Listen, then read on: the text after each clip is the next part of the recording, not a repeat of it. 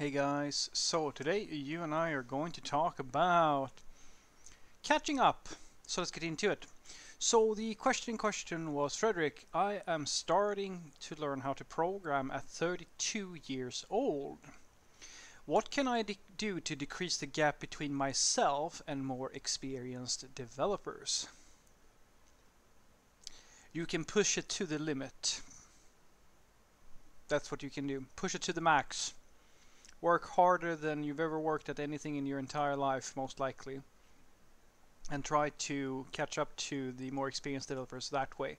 Uh, some things you're not going to be able to catch up to because you have to live things in order to gain real experience in some cases. But the, on the plus side is if you are exceedingly motivated and willing to commit to basically working I'm just gonna say you're probably harder than you've ever worked at anything in your entire life, and I do mean anything you most likely have done.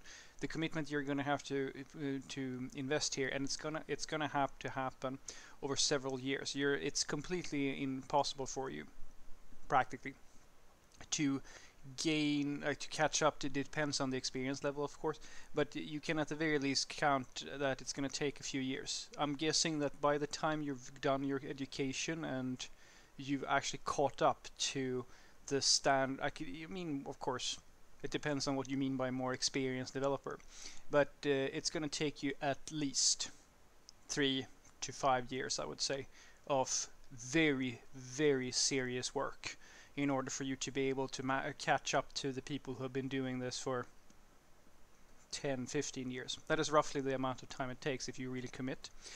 So it's actually interesting because a lot of developers or people who want to get into software development, they believe that if someone's worked for 10 years or 15 years, there's no way to catch up to them.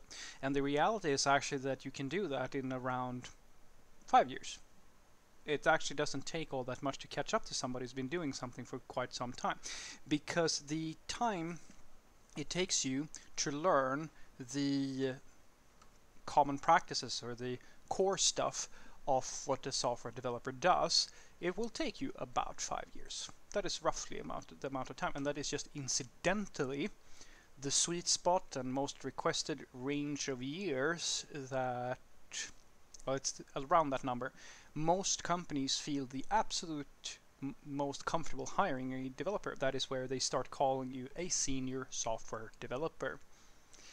And there is a correlation there. I'm going to let you fill in the blanks there. You probably can figure out why.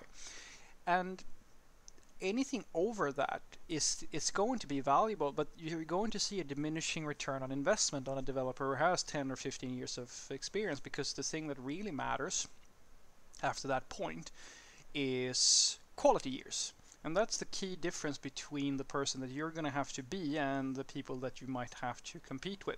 If you're talking about how can I catch up to an experienced developer who has been living quality years, well,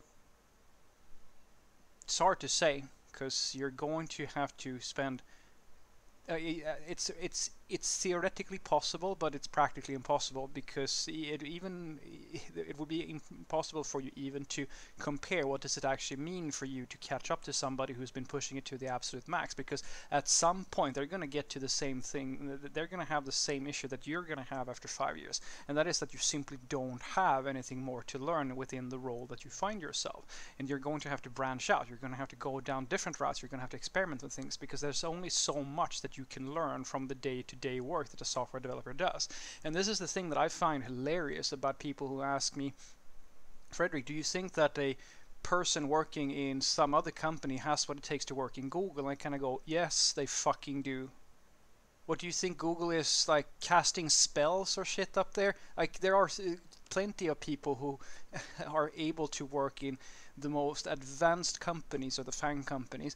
It, like you, they can basically start the work today because the difference between what the specific teams at Google or Facebook and so forth are doing is not determined by some magical inherent ability. They still use the same practices and tools. It's all coding guys.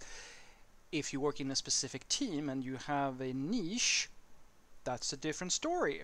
But if you're going to do standard web development, it doesn't matter if you do it at Google or if you do it at some other company. There might be different processes and you might have different time budgets and different practices, but at the end of the day, it's still the same sort of thing. And you're going to find the same thing.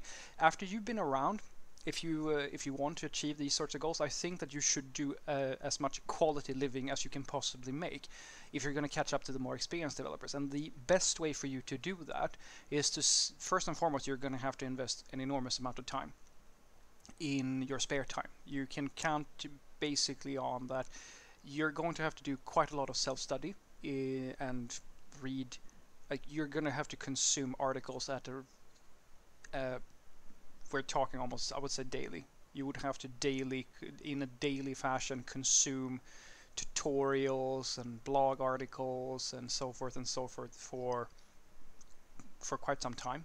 And then apart from that, you're going to have to do, as I said, quality living. And this is the one, I would say that's the one trump card that I can give you, which is one of the main differences between a software developer, the, like a senior software developer who is who has kind of leveled out versus a, so a, senior software developer who can uh, who hasn't leveled out. And that is that you need to get comfortable going from different to different companies and having different sorts of perspectives and different sorts of roles. What I mean by that isn't that I'm necessarily saying that you should job hop I'm saying that you should have the idea that once I have learned everything that I can learn at this specific company in this specific role I'm going to move on. Because the thing that uh, the reason why there is a return uh, a loss of uh, in, uh, the return on investment for a developer uh, after five years is usually because that is about the time or 10 years in some cases that's around the range where they start getting lazy. Because now nothing's it's not scary to work anymore. It's not all that stimulating. You're kind of just doing the same sort of grind right? And most developers will stay there and it's very similar to going to the gym. If you get to a certain strength level, if you set a goal and I'm gonna, you say that, oh, I'm gonna be able to do 100 push-ups, and then you get to 100, and then you just always do 100 push-ups, you're not going to progress all that much more uh, above 100 push-ups. But if you say that I'm going to get as strong as I humanly can, and when I get to 100, I'm going to do 200, that's the sort of mindset that you need in order to actually progress above the more experienced developers. And as I said, it's actually if you have the strategy, and I would say that you will learn all that there is to learn at any given company. In the beginning, it might take a little bit longer, so that's why I'm telling you that it might be hard for you to jump too many times in the in five years, but maybe in six years or eight years. It, it's going to take you around two years roughly and the more experience you get the faster it goes to learn the role at the new company. And once you've learned that role and you feel like yeah I kind of know how this goes and I kind of have the domain knowledge and nothing's really new to me.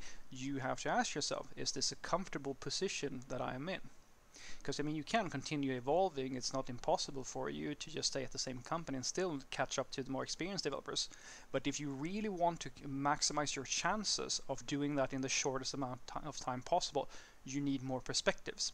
Just look at it as professional traveling because the the people who are the highest valued seniors in the industry are either people who are extraordinarily gifted experts in some specific area or the people who have seen the most, they know the most. They are the sort of people that you bring in because you need them to help you make the right decisions.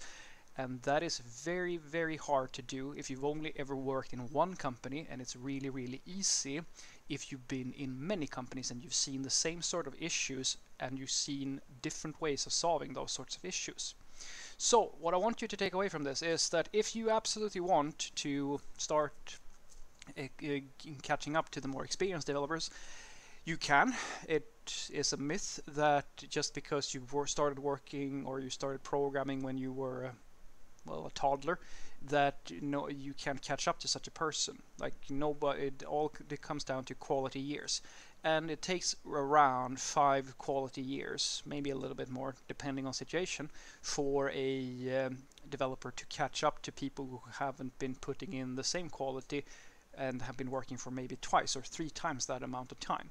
Because at the end of the day it doesn't really matter how long you work. It matters what you do. How much are you pushing yourself?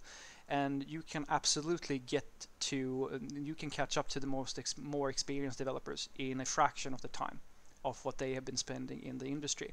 My hottest tip to you is apart from studying by yourself and really pushing it in your spare time is to try to do a little bit of traveling within the industry. Have a look at a few different companies. Don't just stay at one company for your entire career. Look around a little bit. Try to have the same job in a few companies or try to have a slightly different job in a few companies so that you can expand your perspective because that is going to give you an enormous trump card on most of the standard uh, the the average developers. Have a great day.